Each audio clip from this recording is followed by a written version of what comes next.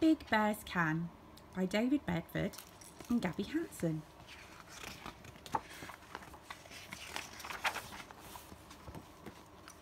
Big Bear had to look after Little Bear when Mummy Bear went out. Do I have to? asked Big Bear. Yes, said Mummy Bear. Just keep the house tidy. I won't be long.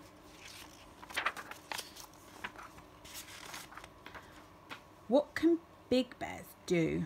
Asked Little Bear when Mummy Bear had gone. Big bears can do everything, said Big Bear. Can they stand on their heads? Yes, they can, said Big Bear. See? But they can't do this, said Little Bear. Boing, boing. Of course they can, said Big Bear. That's easy. Boing, boing, boing. Boing.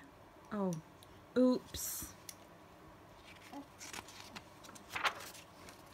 Can you fix the springs? asked Little Bear. Yes, said Big Bear. I can. But you can't do this, said Little Bear. No way.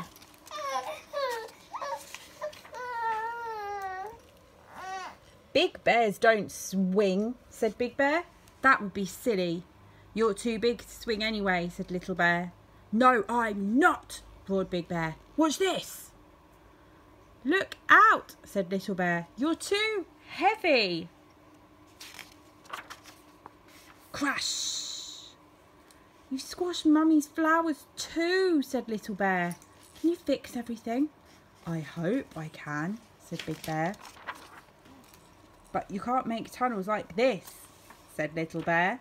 I don't want to make tunnels, said Big Bear. I'm going to sit quietly until Mummy comes back. Big bears can't do everything, sang Little Bear. Big bears can't. Big bears can't. Big bears can't do everything. Yes, they can, said Big Bear. This is fun, isn't it, said Big Bear. Here comes Mummy, shouts Little Bear. She's going to be very angry. Big bears can't hide, said Little Bear. Yes, they can, said Big Bear. Move over so I can squeeze in beside you. There's not enough room, said Little Bear. Mummy will see you. Big bears can't get told off, whispered Big Bear. Can they? Yes, they can. Poor Big Bear. If only Little Bear could make him feel better.